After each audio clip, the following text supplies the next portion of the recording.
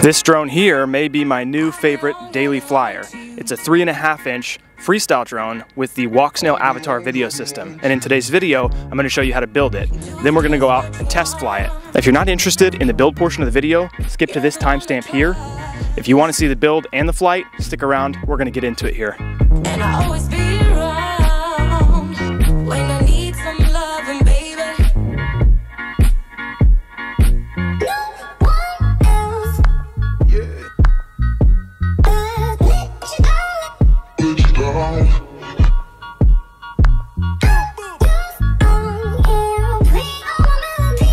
Okay, so here we have all the parts for the build we're doing, plus some extras. So we're gonna go through all this real quick and then we'll get started with the build. So starting off here, we have our frame. Uh, the frame I picked is a uh, Flyfish Volador VX 3.5. So this is a three and a half inch frame.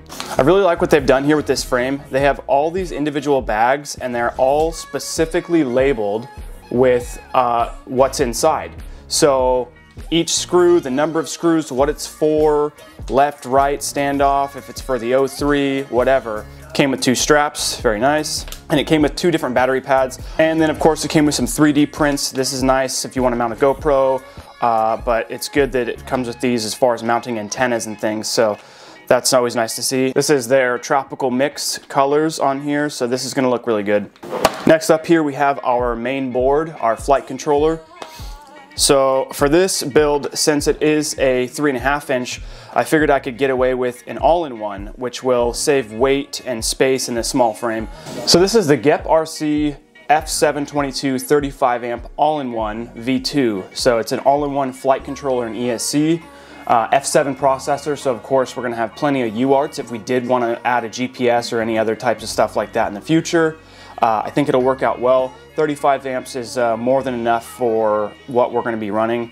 It does come with a capacitor and an XT30 for your uh, battery connection, which is nice, and it comes with a cable, a four wire cable for uh, video system. Next up we have our motors here. Um, these are again Flyfish RC. Uh, I think these are recommended for this frame and they look good. This is an 1804 3500 kV. So these are a little bigger than maybe you'd want to go depending on the weight you're trying to get on this drone. If you're trying to do a sub 250 a lot of people go with a 1404 but for me I wanted to have you know that extra power. So I went with the 1804 uh, I think these will work out really good and I do like the way they look. I think they're a nice looking motor.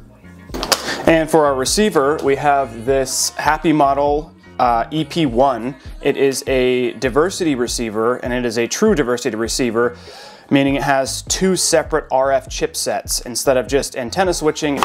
And like I said, we are switching video systems. So here we have the Walksnail Avatar kit. Um, I went with the Avatar HD Pro kit. Now the standard one I think does better in uh, daylight. It probably has a little bit better of an image, but we'll see because I haven't flown this. I haven't seen it yet. I don't, I don't know what it looks like. But I went with the Pro kit because winter's coming up and I do plan on doing a lot of night flying and it's nice to have uh, high quality visibility at night. You know, with analog, pretty much all analog cameras do good in really low light situations. You know, just having a little bit of street lamp light and whatnot, they do really well. So this Pro Kit is supposed to do good at night, so that's why I bought this Pro Kit. Here's what it looks like, very nice. Got the camera, uh, VTX, and it comes with an antenna. So this will work out well. I'm very excited to see what Walksnail has to offer. And of course, we can't fly Walksnail Avatar without some Walksnail or Fat Shark goggles. So what we have here are the Fat Shark Dominator HD. I am really excited for these goggles because of how small they are. Let's back this out. Because of how small they are and, and the, the form factor, these things are absolutely tiny in a good way. And um, compared to the DJI goggles V2, these things are amazing. They're really small and I think they will do really well for a more compact setup. Uh, and I'm excited for the OLED screens. Um, I'm not sure how well these will do with range and pen penetration compared to DJI. I've watched a lot of videos and it seems like they're not as good, but we will do our testing and we'll see how they do. Uh, nowadays, the firmware from, from most of the videos I watched were about a year old, so now there's multiple firmware versions out. Uh, so I think we'll be in a better spot now than when they first got released. So, but very excited for these goggles.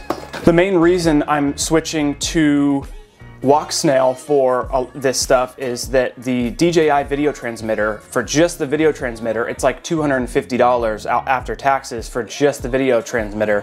That's a lot of money. I mean, that's, that's as much as an entire drone. So that's why I decided to try these out and for my future builds. You know, if you're doing long range and that type of stuff, then I would say DJI is the way to go, or if you need that high penetration, DJI again. But for your typical freestyle stuff, you, there's other options out there that are much cheaper. So that's why I wanted to try these out. So I'm very excited to see this. So we're gonna get our frame set up first. Get this thing uh, mostly together, at least the bottom end, so that we can start to mount our all-in-one board and our motors and all that stuff. This is kind of a cool piece that they threw on here. It's just cool branding that I think is cool. So it goes in the plate like that. I think it's kind of cool. This is our bottom plate and this is the front end of the drone. This is our mid plate, and this is gonna be the back end of the drone. And the arms get squished between the two pieces. All the arms are the exact same size, length, all that, so you don't have to worry about anything there. So the bottom plate, like I said, is the shorter one. Um, the mid plate is the one with the press nuts in it. You'll see there's, there's nuts pressed into it. And now that's where this piece comes in. This, uh, this small little guy here goes in the center there. Okay, so here we have the uh, bottom part of the frame put together. Uh, it was kind of finicky to get these bottom screws. Now that it is tightened down, I mean, the arms are absolutely solid. It is a, it is a nice design. It's kind of hard to put together, but the arms are absolutely solid now. So I'm very happy with the way it looks, the way it feels. That's looking good. So the next thing we're gonna do is get our um, stack mounted or our all-in-one. We're gonna get this mounted so we can kind of uh, map things out these long screws that came with the kit are the stack mounting screws. Now this is a 25 by 25, so if we look, we have two different um, sets of holes here. We've got these ones that are threaded here, and then these ones here that are not threaded. And these ones that are not threaded are 25 by 25. They also are recessed on the bottom. So there's how that looks. Flip it over. So here's where you really gotta pay attention to kind of what you wanna do. You've got your USB connection here for plugging in to Betaflight to configure, do all that stuff. You don't necessarily wanna have that facing straight backwards or straight forwards because you're not gonna be able to easily plug your USB connection in. You're really gonna want that facing out either side so that you can easily plug in. But you have to think about where are the rest of your connections. So Motor connections are okay. You know, you can always kind of string those around wherever the motor wires are nice and long. But the XT60 or XT30 lead, your battery lead, is those two big pads right there. And so you're gonna, you, you know, you wanna think about, okay, so how am I gonna mount that? So we've got the all-in-one mounted and we've got our uh, USB on the side here. So I have easy access for Betaflight, tuning, whatever we need to do. That's good. Uh, now our battery pads, positive, negative, sitting here, we can have our XT30 kind of coming out the side, the front here, and these are coming out here. That'll work out good and be able to plug in, no issues there. That will also leave us room up front here to mount our capacitor. Even with the camera in there, we've still got room, plenty of room, even if the camera's backed up a bit, we've still got plenty of room to mount the capacitor. This Walksnail video transmitter need 2 to 6S voltage. So you can't, you cannot run this off of a 5 volt pad, which we have plenty of, but we don't actually have a VBAT pad on here. On this flight controller, and if you look at the diagram, if you look back there, you'll see this, uh, this plug here is for an O3 air unit or Walksnail or whatever digital system. So that, that plug right there will give us VBAT, so battery power, which will be 4S voltage, which is fine because again, 6 to 2S, or 2 to 6S I should say. So that plug right there will give us battery voltage, ground, and UART2, so T2 and R2 are all on that plug. So we also have a plug on the VTX. The only problem is that this one goes into the board and fits, and this one goes into the VTX and fits, but both ends are just blank ends with um, pre-tinned solder. So what I think I'm gonna do is actually just trim these down and solder these together so that it's one cable with a plug on each end. That way I don't have to solder on the board or the VTX and it's just a cleaner look. So real quick, I'm gonna make the plug that goes between the flight controller and the um, video transmitter. Again, you wanna pay attention to uh, what's going where. Out of the board, we're gonna have red and black coming out of the board, which is uh, battery ground. Our yellow wire is our TX, our white wire is our RX. And of course, you always want R to T, T to R. You don't wanna go R to R and T to T because R and T is transmit and receive. So you don't want to transmit going to a transmit. They're both yelling at each other. No one's listening. Same thing with receiver. R to R would be both listening, no one's talking. So transmit to receive, yelling to listening, uh, both sides. So yeah, here is the plug. I've just got some heat shrink on there. And yeah, you can see it plugs in right there. And then our video transmitter. Video transmitter will sit in the back, wires come out, and they'll kind of wrap around and plug right into the video transmitter there. So that will work out very well. So now we've got our special little plug. Wasn't too hard to make, just solder it together, heat shrink, good to go. Next thing I'm gonna do here is I'm gonna take our XT30 lead and our capacitor, and we're gonna get those mounted up on there, and then we'll do the motors. Um, we do have our XT30 already tinned, so that's good. We just need to tin these pads down here.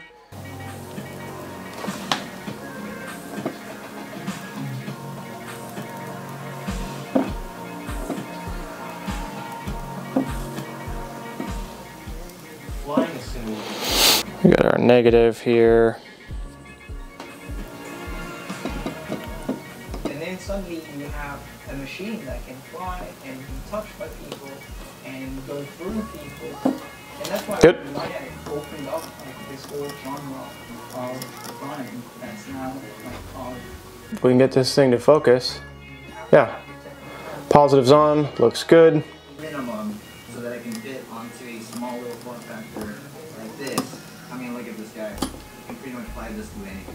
All right, it looks really good. I like it. Um, now let's get our capacitor on there.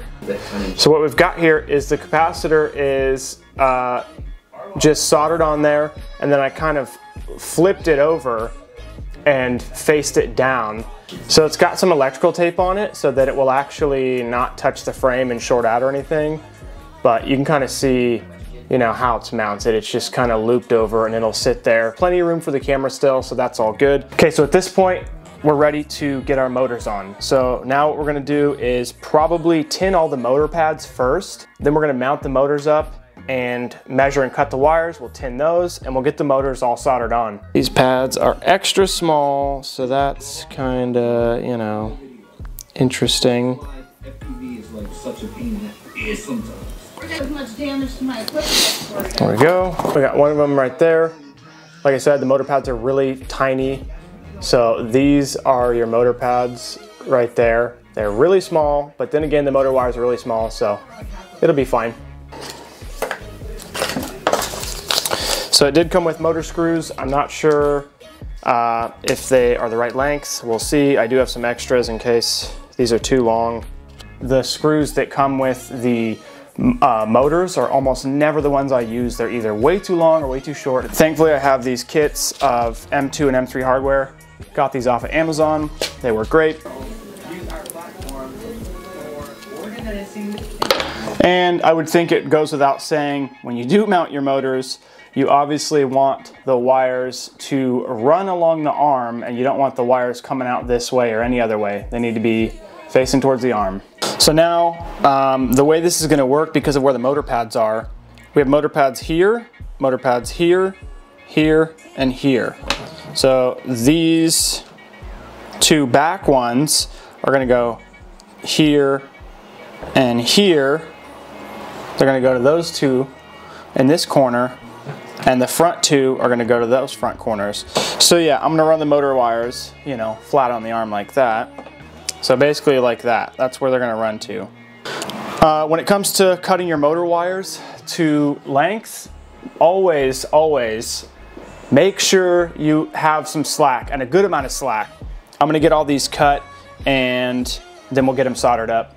Okay, so at this point we have our motor wires cut to the length.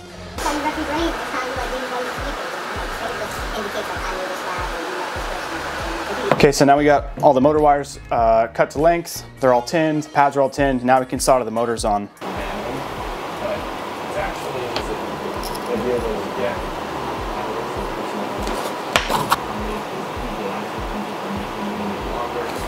Okay, all the motors are soldered on. Everything looks really good. Um, next thing I'm probably gonna do is tape the motor wires down, secure those so they're nice and clean and out of the way. All right, so here's what we got. All the motor wires are taped up. So the next thing we gotta do here is get the receiver hooked up. So we gotta tin the pads on here, tin the pads on the receiver, and wire that up. Got some antennas, some heat shrink, and the receiver itself. The only thing that's interesting is the fact that it did not come with wires. Thankfully, you know, I have a, I have a few extra, extra wires. So as you can see on the backside there, we got all those pads tinned ready to go.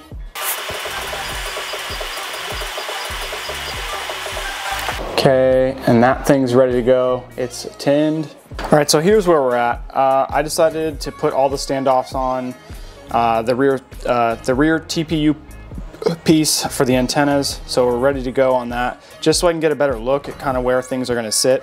I think I am gonna soft mount this. Um, so I have some 3M double-sided sticky tape here, and we're just gonna stick that down. I do wanna get this plug into the flight controller though. Okay, that's plugged in.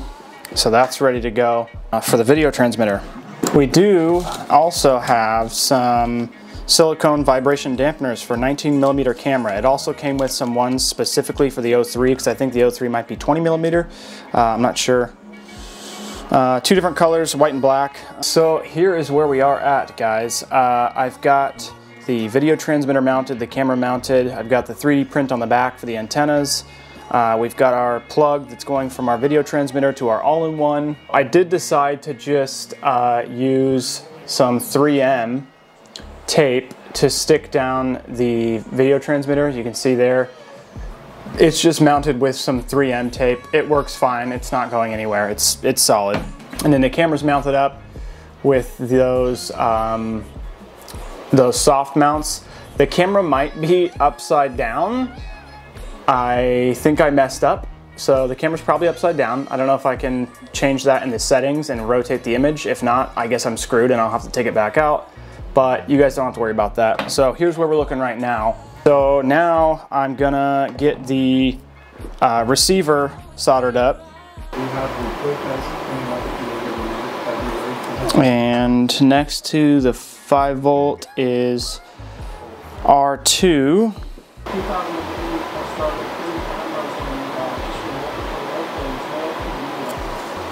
Next is ground.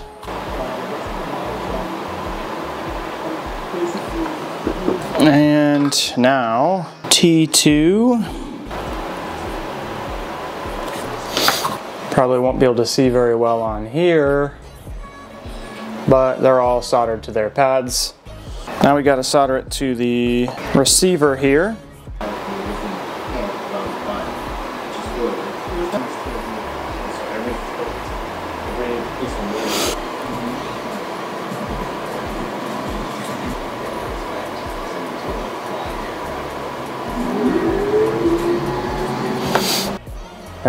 Receiver's all soldered up.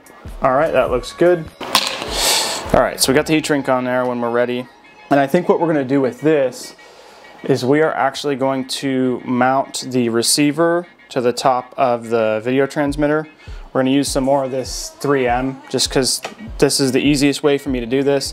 Um, after we get the antennas down on, we'll heat shrink it and we'll just stick it to the top of that and run our antennas. So that's what I'm gonna do next. Uh, capacitor we already had mounted, so now it's just kind of stuffed down uh, behind the camera. That'll work good. We got this 3D print on the back here that is gonna hold our rear antenna.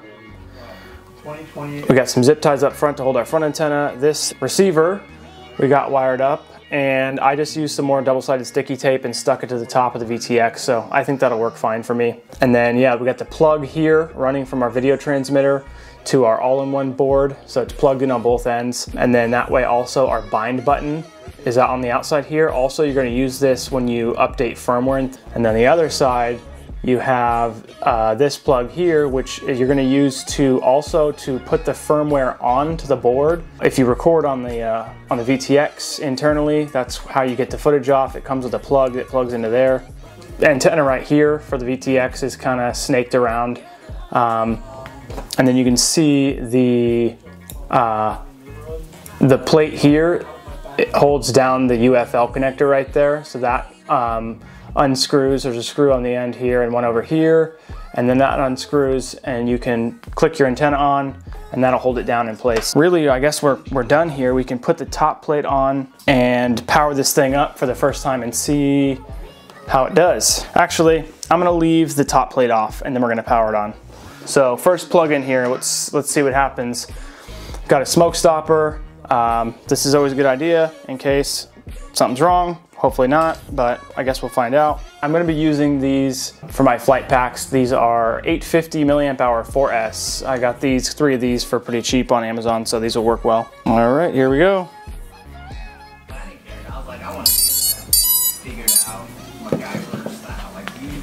Well, no smoke. We got tones, no smoke, board lights up. VTX is lighting up, receiver's lighting up. I think we're looking good. All right, so now at this point, I need to get this thing into the computer and get it all configured and tuned and make sure everything's right and my OSD and you know, you know the whole thing. Um, I'm not going to show any of that because uh, you know there's there's plenty of videos out there showing you guys how to do all that stuff. Uh, specifically, uh, Joshua Bardwell's got an, an, endless amount of videos on Betaflight configuration, uh, anything to do with Betaflight, he's got you covered, and building wise too. So yeah, if you if you need help with that stuff, I would send you over to Joshua Bardwell's channel, and he will be able to help you out. So yeah, I'm gonna get this all done up in the computer, bound, everything like that and then uh, we are gonna go fly this thing. We're gonna go do a flight test of different modes, see the penetration, range, how the image quality is. For those of you who stuck around, here we are to do the flight testing of this new system and this new drone. So here is uh, the finished product. Um, I think it looks pretty good.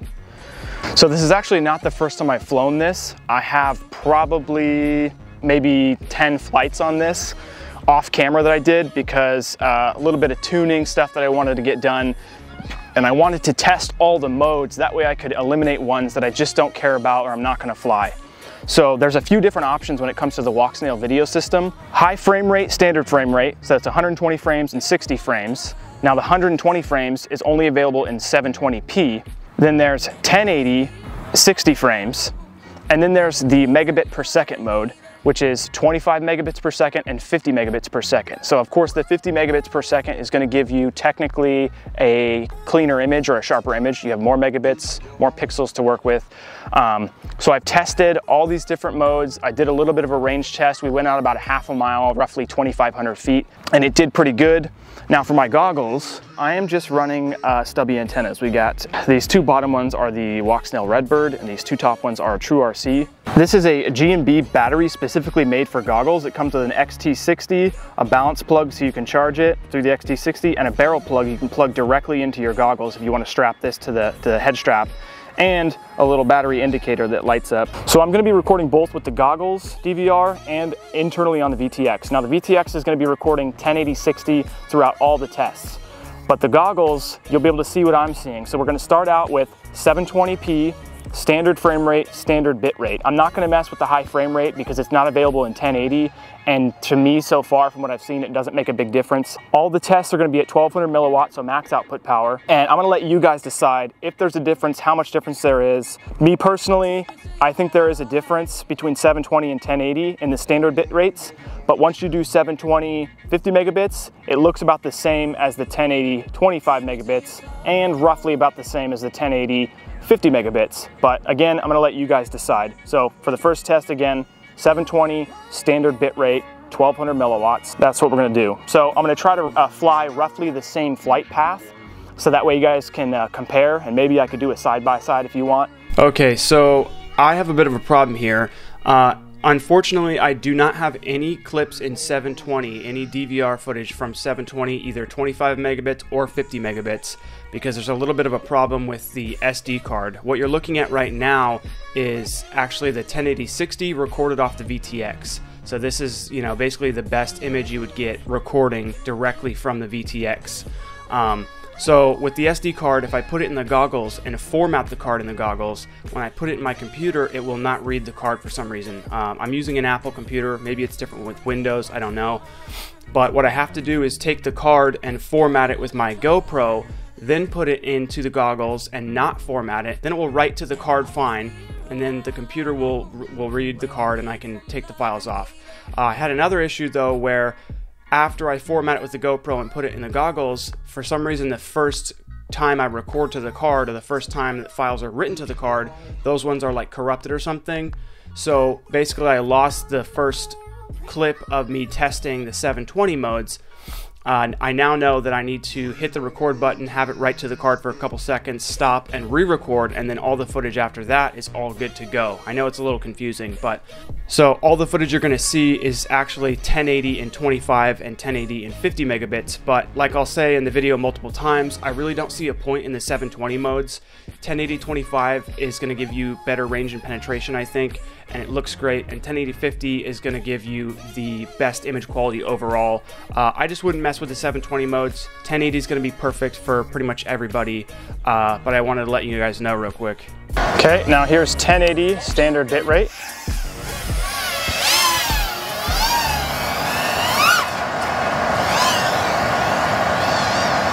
A little bit of smearing on the ground is pretty normal with all these modes.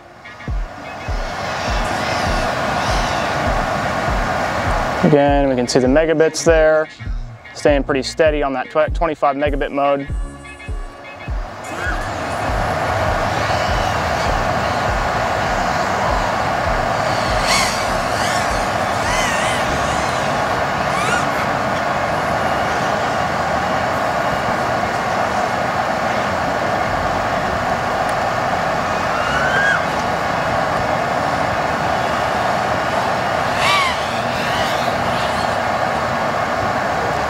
Is kind of going behind me here and behind my truck.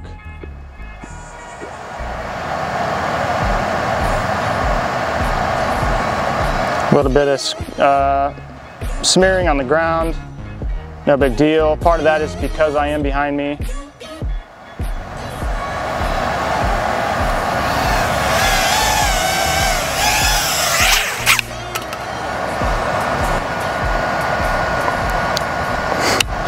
Right, now we're looking at 1080, 50 megabits.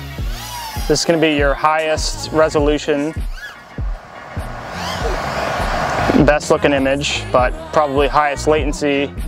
And I don't think it does as good on the bit rate. No, actually it's holding in there pretty good. And again, this is all with focus mode off. So I'll show you how focus mode looks when we're done here with this. So far I haven't seen any stutters or anything funky, so it's all looking good.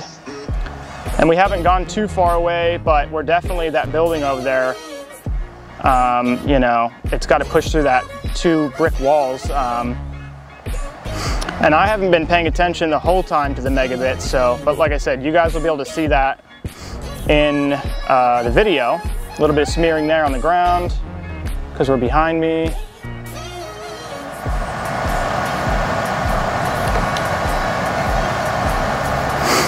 But for the most part, it's looking pretty good.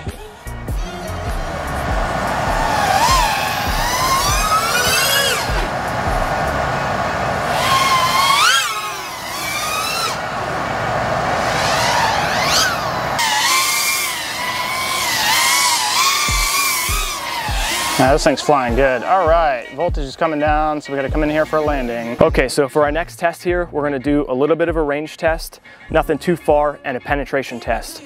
Uh, me personally, from what I've seen, 720 at 25 megabits is okay, it's still HD, but if I'm flying 720, I'd probably switch to the 50 megabits mode. Uh, 1080 in 25 megabits is pretty good and, and in my experience so far it does better at range. So if you're gonna be flying a little bit further uh, or you need more penetration, I think 1080 25 megabits is gonna be a good mode to fly in.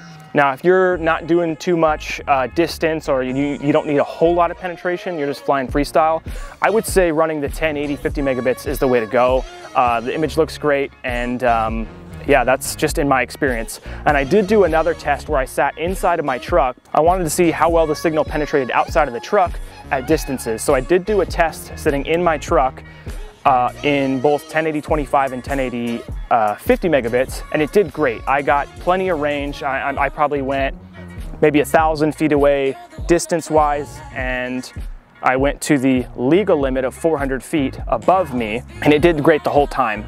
Um, so it, it's, it's, it's a great system so far. I'm really excited, really happy with the results because a lot of the videos I watched, people were complaining about range and penetration and things and it was had me a little worried, but so far it's been great. So um, I'm gonna turn you around here. Let's do this. So over there, you can see the building I was flying behind. It's, you know, a decent ways away. I'm over here. So I was flying behind that building over there. So for our range test, we're gonna fly right out to the tree line, the tall trees right there. Um, I'll put up on screen how far away that is from me so you guys can see. Uh, so that's gonna be our range test. And then for penetration, I'm just gonna fly behind this building and see how far back I can go before things start to get really bad. And now in my testing, like I said, I've done a lot of testing, 720, 25 megabits and 50 megabits versus 1080, 25 and 50 megabits. And in my opinion, of all the testing I've done in range and penetration, I think you realistically could just stick with 1080 and if you want more clarity, if you're not doing you know too much, go to your 50 megabit mode, it's gonna work great. If you want a little more range and penetration, I think the 25 megabit is where you wanna be. On top of that, when you look in there at 25 megabits, when you choose your channel, you have channels one through eight, eight being the public channel, don't fly on that. But you have uh, your full channel selection. When you go to uh, 50 megabits, you only have three or four channels to, to select from, I can't remember. But you have a, a limited channel selection because the 50 megabits takes up more bandwidth, I believe is why. So again, too, if you're flying with other people, either analog or digital systems, if you're flying 50 megabits, you're taking up more bandwidth. So that's another thing to consider when it comes to the bit rates. 25 megabits is gonna leave you plenty of room to have, you know, maybe three, four pilots in the air, whether it's digital or uh, analog. So for this first test, we're doing 1080 standard bit rate with focus mode off. We're gonna fly to the tree line. We're gonna come back and fly around the back of the building like I showed you. Then we'll come back, we'll land, we'll switch to 1080 50 megabits, do the same run. And then just so you guys can see what focus mode does, I'll put focus mode on. Uh, it doesn't matter if it's 25 or 50, you'll be able to see kind of what it does, what it looks like, um, and how much it helps versus not having that. So I'm gonna, we're gonna get this test started here. It's looking good. Oh, we forgot to record. Channel one selected, all good, ready.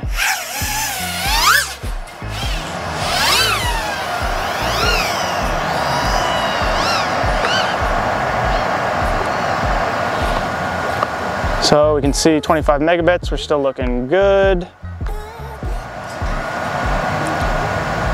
No jitters, no stutters, no nothing. Oh, there's a bird right there.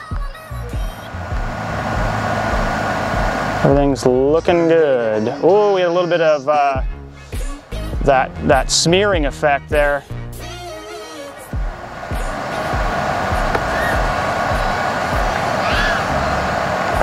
Okay, yep, everything looking good. Now we're gonna fly behind the building. You can see me over there next to my truck. I'm fly behind the building here and see where or if we lose video. 25 megabits still, 22, 13, 12. Ooh, it's really dropping. Seven. Oh, we're getting red screen. We're getting red screen. Okay, that's, that's, uh, all right.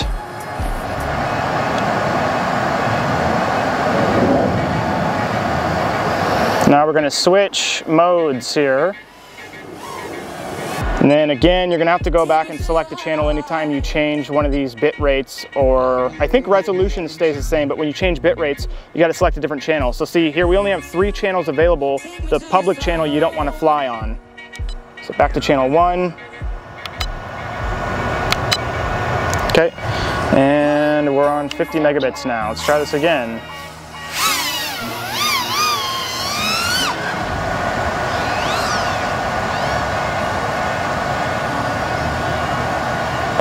Megabits is still looking solid. Jumping around a little, but it's not too bad. Yeah, it, it jumps around a little bit, but nothing too crazy. It stays pretty solid. Now, I think the latency is gonna be the highest on this. Ooh, we got some, some more uh, smearing there. I think the latency is gonna be higher on a 1080 50 megabits mode versus the lower megabits and resolution, I believe. Okay, same test. We're gonna go behind the building here. See how quickly, oof, oof.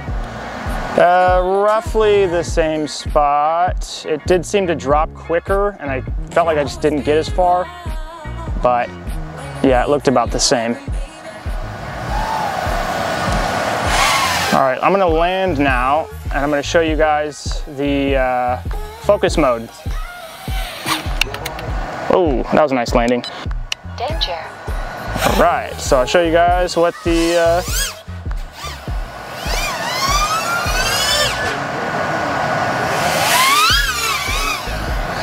focus mode looks like. A little bit of freestyle. You can see all the jitters from my poorly tuned quad. Um, yeah, you'll see focus mode here in a second. There it is. That's focus mode. So it blurs the edges so that the so that the uh, it blurs the edges so that the center of the screen can stay clear and maybe it helps with your uh, your megabits and, and uh, stuff like that, keeping your megabit rate higher. So that's gonna bother some people having those blurred bars like that. Me personally, you're you're Oh, see, so we don't even need it here. We're still doing so good at this point. It turned on for a sec. So for me personally, you know, you're only ever looking at the center of the screen anyway. You're never looking far left or right typically. So to me, it really doesn't bother me, but you know, you can turn that off and just have kind of that slight smearing depending on how poor the uh, image is. You'll just have that smearing effect and you know, that's it. But um, I, yeah, I'm not sure how much it really helps, but I would imagine it, it does help with either keeping the megabits higher or maybe giving you a bit more uh, range and penetration. So that's up to you guys. Uh, when I did my longer range test, because I don't know how far this is, I think I, I put it on screen, but um, I don't know right now how far it is. But when I did my other range test at about 2,500 feet, about half a mile, I had focus mode on for all the flights uh, because I figured it would help. So I don't know how bad it would be once you get further out into uh, some of that stuff if you had it off.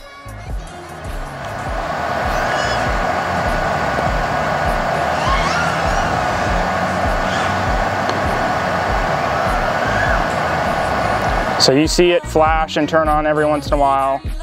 Again, you can turn that off if you don't, you know, like that or want it on.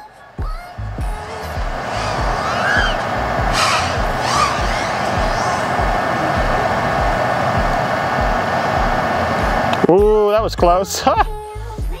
that was close. Thank you guys for watching the video. If you have any questions or anything you want to say, leave it down in the comments. I will get back to you guys. Um, I'll have more videos in the future uh, with this system, and that's all I got today, but I'll see you guys in the next video.